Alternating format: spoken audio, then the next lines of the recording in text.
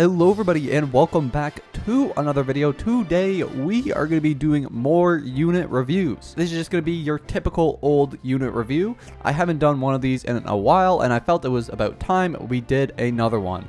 If you guys would like to get your own unit reviewed, all you have to do is join my Discord, the link is in the description below, and follow the steps from there. Without further ado, let's get in to the video. First up here, we have Althea, and they want me to review their Eula.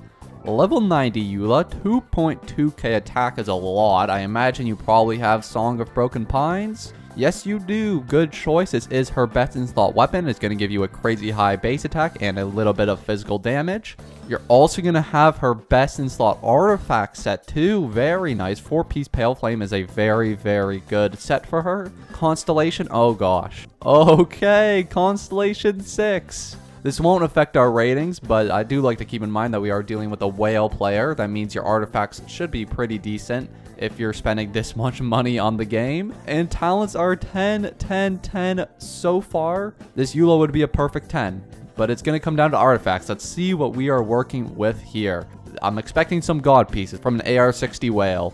First piece is pretty good. Definitely not a god piece, but it's not a bad piece at all. Got a lot of attack, a lot of crit rate, and some crit damage. Pretty good piece. Feather uh, is essentially a perfect piece. Wow, yeah, no, that's a very, very nice piece. Again, crit rate, crit damage, attack, recharge. Can't get much better than that. Preferably may want to see a bit more crit damage, but other than that, very good piece. Sands is another really good piece. Again, none of these are god pieces so far. They don't go into god territory, but they're all like very, very solid pieces.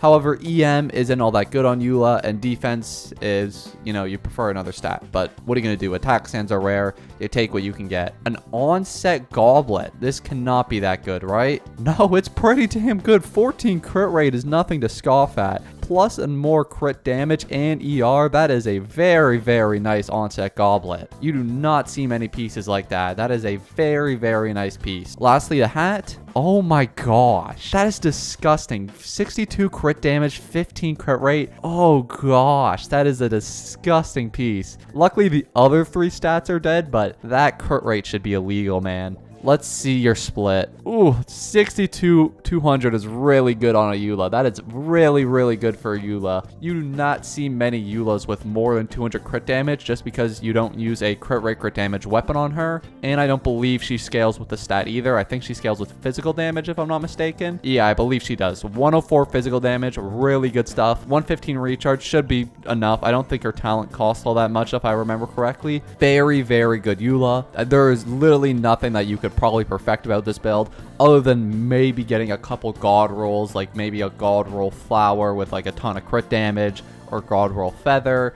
Other than that it, it's essentially perfect. It is on the brink of perfect. However it isn't perfect so we are going to give it a 9.8 out of 10 let's move on to the next build Next up here we have Chenza, and they want me to review their Ganyu. Level 90 Ganyu, 2.2k attack, very good stuff. 56 EM, maybe a little bit low if you're going something like Melt Ganyu, but I guess we'll see. Weapon is Amos' Bow R5.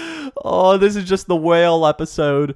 Oh no. I imagine you're probably C6. Damn straight you're C6. Oh goodness, this is the whale episode today, bro. It's just gonna be all whales. Okay. Artifacts. Four piece blizzard. Okay, so you are going freeze Ganyu. Therefore, the EM doesn't matter all that much. Talents are gonna be 10 10 no that's 1099 isn't it? Yeah that's 1099 not a perfect 10 10 10 really? Even though you c6 and r5 her that's shocking. Is are all your characters c6 yep yep yep yep. Oh my goodness how much money do you have to spend on this game? Oh my gosh. Okay. Fair enough then fair enough. I would like to see 10 10 10 but what are you going to do? Can't get everything you want. Let's see some of these artifacts. Probably just a ton of crit damage as I imagine what we're going to be stacking here. Let's start with the hat. Very nice hat. Got some crit rate, got some ER. EM isn't as necessary, but it's still a good stat. And a little bit of flat HP. Flower. A lot of crit damage. That's exactly what you want to see on the Blizzard Strayer set. A little bit of recharge there as well. Very good stuff. Again, a lot of crit damage. That is a five crit roll piece. That is a very, very good piece. I think that's like 45,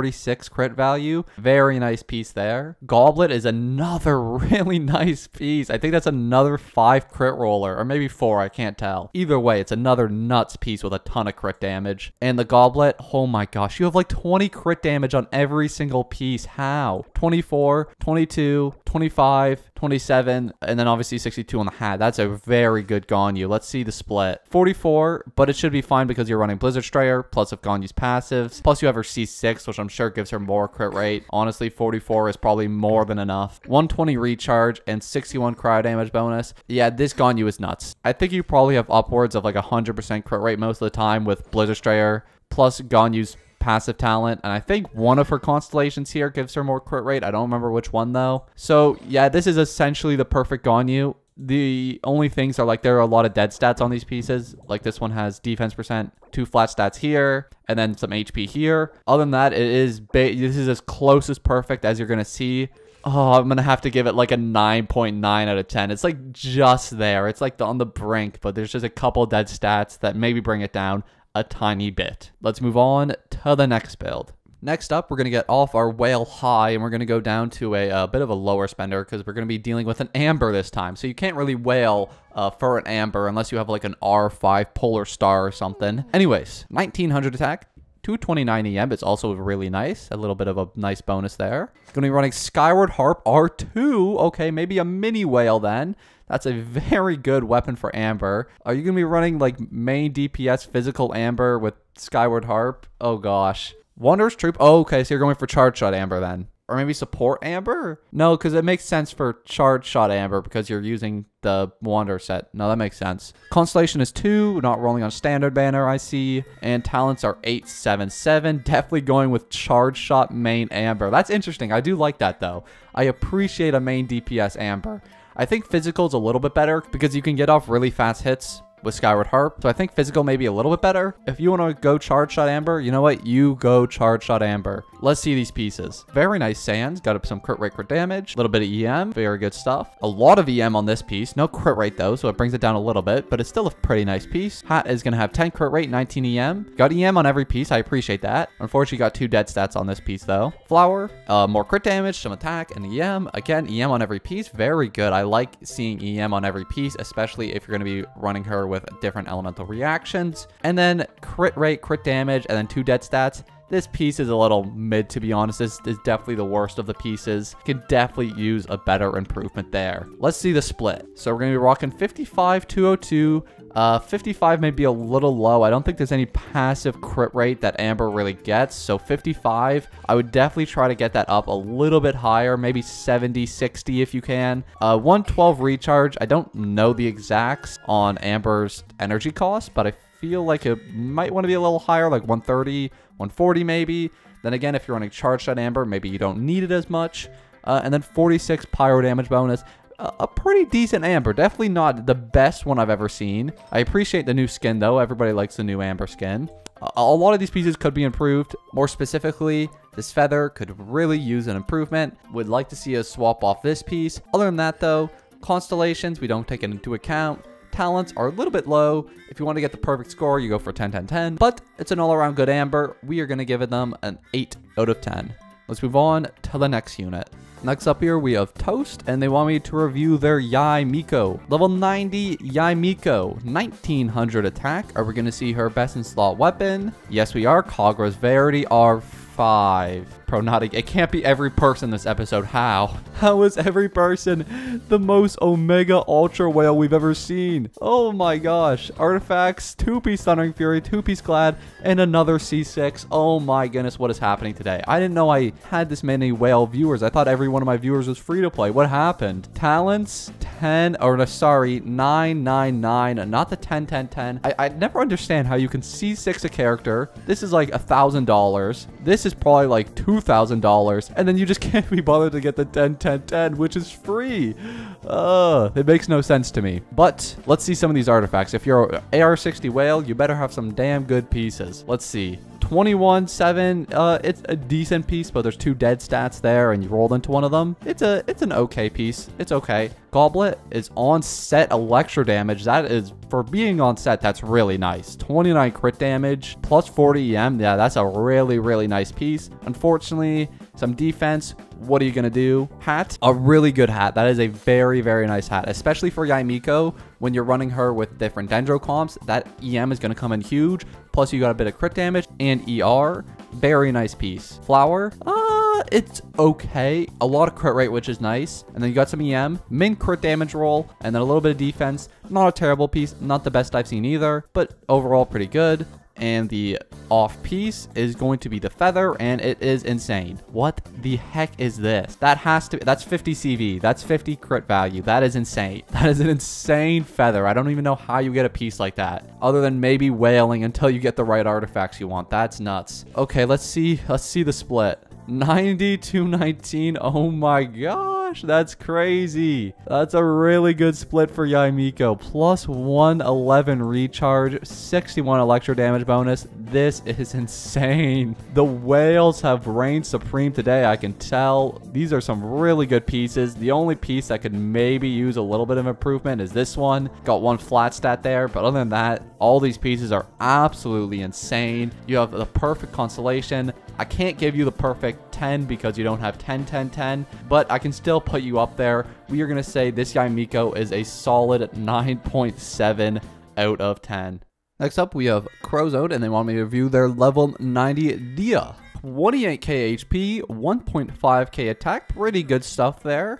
I'm interested to see if you're running like burst DPS Dehya or if you're going to be running support Dehya.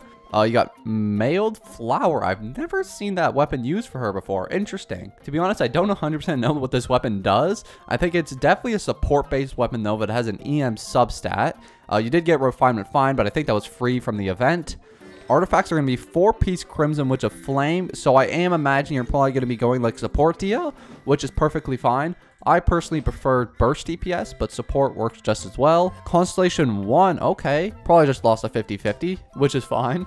Can't win them all. Talents are going to be 6, 6, 8. Okay, so you, you kind of are doing a bit of both. Uh, if you do want to do more a support-based deal, you would uh, level up her skill over her burst, because her skill is going to be the thing that you're using the most, but her burst isn't bad either. Uh, except if you are using her burst, I I personally like to use it with like things like four piece emblem or maybe like a two piece uh, Crimson Witch of Flame, two-piece Glad, stuff like that. The four-piece is still good, but I don't like it as much as four-piece Emblem when using the burst. But if you're going support Dehya, uh, then it's not a bad choice. That being said, her support skills are pretty limited since she is a pretty niche character who was completely ruined in development, but we move past it. Feather is pretty good. Got some crit rate, crit damage. Two dead stats though on the bottom. Sands is going to be a way too much crit rate. Oh my gosh, 16 crit rate. That is nuts. Plus 35 EM, plus crit damage. That's a really good piece. Goblet is going to be on set. Okay. This looks like about the on-set goblets I have on my account.